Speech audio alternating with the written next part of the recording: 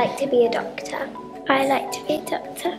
My name's Elle and I'm a clinical medical student at University College London. I'm going to be your tour guide today and your tutor to make sure that you're whizzes at being doctors by the end of today. It's immensely important that all of us know about how the human body works, learn about how it works normally and what happens when it goes wrong. Even though we do lessons at school, this is just way, way more exciting than that. I feel amazed. I feel fascinated. The most awesome part was when you put your arm into the um, like this machine and they, they manage your blood pressure. It's a really, really big science lesson.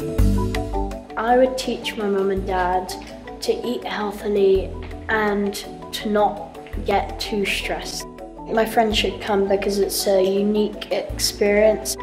You couldn't find it anywhere else. I think it's impacted the way that I think of being a doctor because you see all the, the things that you would, you would be studying, you see them all in more intricate detail.